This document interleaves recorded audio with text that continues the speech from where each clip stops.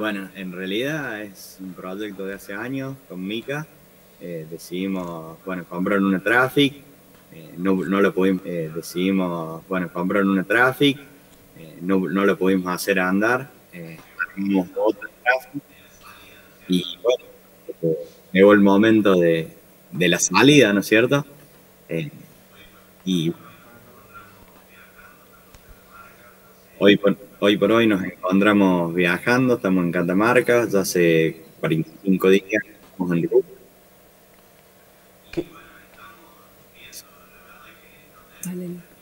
Y bueno, estamos viendo, la verdad que no tenemos un destino fijo ni, ni seguimos viendo el día a día. Exactamente. Eso, eso de vivir el día a día, me imagino que ya lo tenían previsto ustedes, tanto Johnny como, como Mika, en cuanto al sentido del viaje. Uno cuando, cuando sale de esa manera es descubrir el día a día donde, donde amanezcan o donde el destino le depare, ¿es así?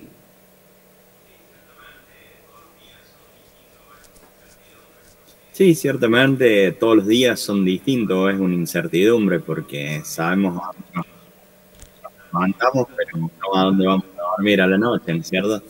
Eh, estamos siempre buscando un lugar, un lugar. Siempre pidiendo permiso, molestar y buscando algún lugar tranquilo para, para dormir. Pero bueno, eh, vamos viendo día a dónde vamos y qué vamos a hacer. Y un poquito decís vos, que era, estaba previsto antes de salir que íbamos tener un lugar fijo. Eh, el único fijo que tenemos es que sobre ruedas. Tengo una pregunta que, bueno, me imagino que mucha gente cuando le comentaron de este proyecto seguramente les dijo, ¿cómo van a sustentar el viaje? ¿Viste? La típica pregunta cuando alguien viaja y vive así en el día a día, eh, la típica pregunta, ¿y cómo sustentan el viaje? ¿Cómo viven? Eh, ¿Cómo ganan dinero? ¿Cómo se, mantienen en ese motorhome tan lindo que, han construido, eh, que lo han dejado espectacular para hacer este viaje?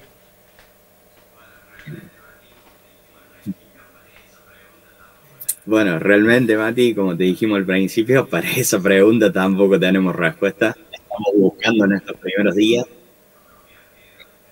Nosotros también estamos aprendiendo mucho de, otros viajeros, de gente que tiene más experiencia en viajar o andar en la calle. Bueno, como saben, somos los dos bastante tímidos por ahí. Eh, nos cuesta bastante relacionar o hablar, pero bueno, eh, estamos aprendiendo, hemos hecho ferias como Tinogasta, Fiambalá, ahora en Catamarca Capital, en Capazate. Eh, bueno, le vamos buscando la vuelta, siempre preguntando a los locales en un lugar que no molestemos. Eh, anden a donde podemos hacer y bueno, y vender nuestras cosas. Eh, estamos aprendiendo, es un mes de puro aprendizaje, que bueno, estamos aprendiendo a manejar piedras, a engarzar piedras, a hacer macramé. por supuesto que la la más artesana es ella, yo soy el, el de un poquito más caro. soy, el vendedor, pero bueno. Ahí les digo que la productora les comente cómo hace su macramé. A ver, Mica, contanos eh, cuáles son las, las, opciones que podemos encontrar en, en las diferentes ferias donde, donde ustedes van.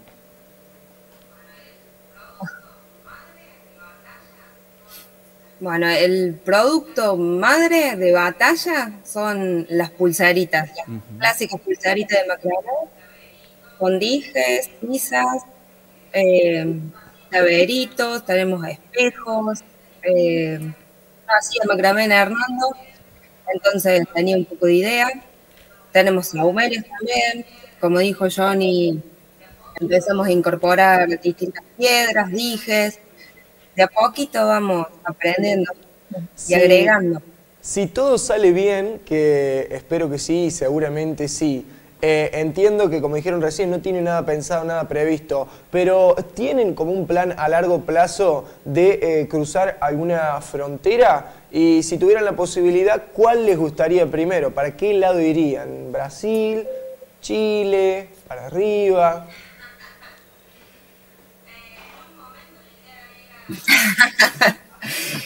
Eh, en un momento la idea era bajar por la 40 y posiblemente ir por Chile haciendo la carretera austral. Pero no, son ideas, no hay nada planeado concreto. Qué lindo. Bien, y, en todo este tiempo, desde que salieron de Hernando hasta el día de hoy, ¿cuáles son los lugares que... se han atravesado?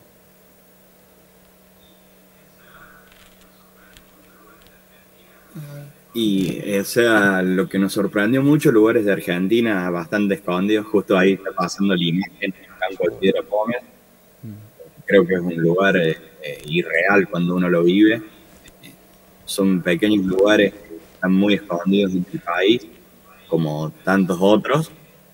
Creo que Argentina es un país inmenso, que tiene muchísimos de esos lugares para cubrir. Entonces, por ahí lo que elegimos ahora es estar en el país y ir recorriendo esos pequeños lugares que nos dan grandes emociones de, de verlos y de poder vivirlos. Eh, nosotros, arrancar, fuimos derecho a San Hospital, bueno, yo corrí una carrera, la última carrera de running, el Rey de los Andes. Y, bueno, y de ahí arrancamos recorriendo todo lo que es Pumamarca, el Cerro de los Siete Colores, todos los colores indescriptibles que tiene Salta y Cucuy. Fuimos Salinas Grandes, eh, estuvimos en La Quiaca, que es una emoción llegar al final del país con nuestra casa, ¿no es cierto? Exacto. Un poco somos como una tortuga, llevamos nuestra casa y te acuesta a todos lados. Eh, de ahí cruzamos a Villazón, tuvimos un día en Bolivia y después volvimos y comenzamos a bajar por Catamarca, Fiamba, hicimos termas de Fiambala, Tinogasta, parte de La Rioja. Ahora estamos en Catamarca Capital. Eh, queremos aprovechar el largo a ver si vendemos algo. Eh, bueno, hay que alimentarla, hay que darle gasoil para que siga llevándonos a conocer distintos lugares. Eh, y bueno, y esta pregunta va, va para Mika, porque Johnny sabemos que, que, de cierta manera este tipo de aventuras o de salir y de estar un poco, mucho tiempo afuera de, tu zona de confort, con, de tu familia, amigos y demás, eh, pero para Mika me imagino que el desafío es doble en cuanto al sentido de, de irse por primera vez lejos de esa zona de confort. Y también la otra pregunta también va para Mika cómo es el tema de la convivencia, porque uno dice, bueno, nos vamos de viaje y si paramos en un hotel y si paramos en alguna casa, alquilamos, vamos viendo, pero están 24/7 juntos arriba de un motorhome. ¿Cómo, cómo se sobrelleva eso?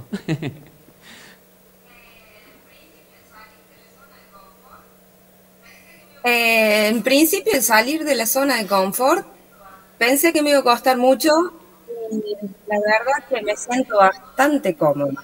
No, no extraño nada. Tenemos todas las comodidades que, necesitamos acá. Tenemos nuestro baño, que es lo principal que a mí me preocupaba.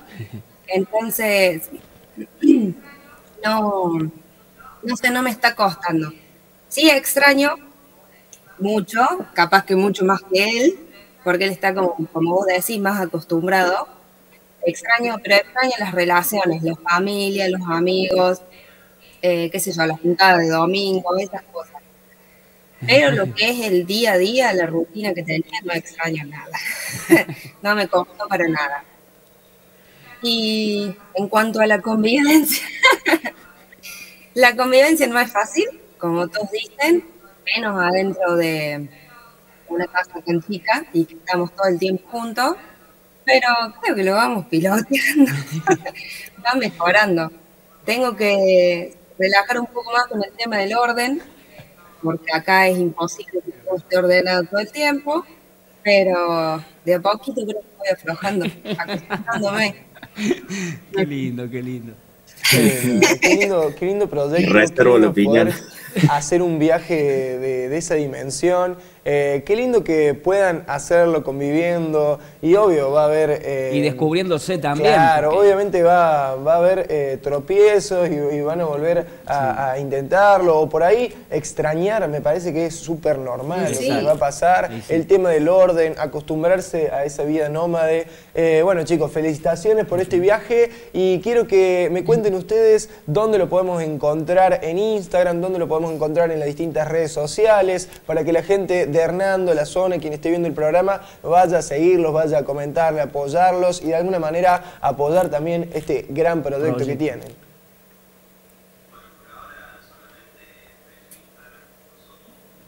Bueno, por ahora solamente hemos hecho Instagram, no somos, eh, somos muy hábiles con el tema del manejo de las redes, videos, todo eso, pero bueno, tenemos Instagram que es viajamos JIM, ese es el Instagram del viaje, que es lo único que hemos hecho por ahora, pero bueno, está pronto, cuando aprendamos un poquito a editar, estamos aprendiendo muchas cosas juntas, cuando aprendamos eso, eh, seguramente vamos a hacer un canal de YouTube y vamos a abrir un, un Facebook del viaje. Perfecto. Y, sí, si quieren pasamos el CBU para el gasoil. vale, el cafecito. Hacemos una colecta. Sí, hay, que hacer, hay que hacer un cafecito, hay que hacer algo. Hay que hacer algo de eso. Pero ellos también en sus redes sociales habían puesto encuestas de que la gente misma, nosotros... Sí, sí, seguramente en un futuro están planeadas Perdón, tenemos un pequeño delay ahí, eh, por eso por ahí se, corta o estamos eh, con un bache en el medio. Eh, ellos habían creado la encuesta en, las redes sociales que la gente, nosotros los seguidores, le tiremos nombres de cómo ah, tienen que bautizarse el motorhome. ¿Ya, ¿Ya decidieron o todavía están ahí en dilema?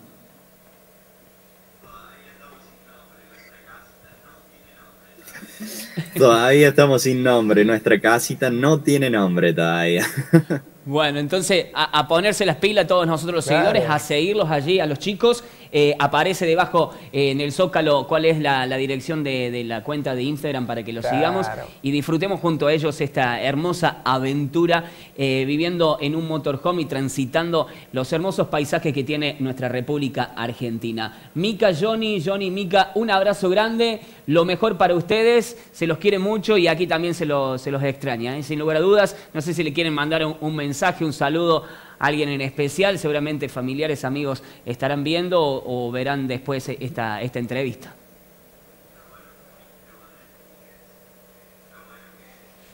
bueno, como dijiste vos, Nachi, es, está bueno que si nos pueden seguir en Instagram, eh, la idea nuestra es publicando lo que vamos día a día. Por ahí pasa mucho que gente por privado nos escribe, gente del pueblo y gente de otros lugares que nos puede pasar y nos agrega y nos dicen que de cierta forma un viajero le da, le prende esa chispita interior a la gente de, ganas de viajar o de conocer, eh, sobre todo cuando vamos o publicamos cosas de lugares desconocidos o lugares pequeños del país que no son muy difundidos. Eh, creo que, como dije antes, Argentina miles de esos lugares para, para conocer y para que la gente vea y bueno, eh, para nosotros es muy lindo eh, poder a través de una foto comunicarnos y tener contacto con gente que, no conocemos y, que por ahí los feliz. Casualmente anoche tuvimos unos mensajes en Instagram que nos decían que bueno lo que hacemos, que en cierta forma viajan con nosotros y van conociendo lugares de Argentina que no pueden conocer. Así que bueno, todos los que nos quieran seguir, agradecidos y a nosotros nos ayudan también, porque bueno, en un futuro en las redes sociales hay una buena cantidad de seguidores que nos pueden ayudar con el viaje. Y bueno, y saludar, como siempre, a toda la familia que fue quienes nos apoyaron en esto, no coincidiendo 100% en lo que íbamos a hacer, pero bueno, eh, siempre estuvieron atrás dándonos apoyo y fuerza y a todos en mi caso a todos mis amigos también, que, bueno, que son un pilar fundamental en esto y por ahí uno tiene días buenos y días malos. Eh, siempre un mensaje de un amigo diciendo dónde estás o cosas así, te levantan el ánimo y te dan fuerza para, bueno, para salir en esta, en esta experiencia que recién empezamos.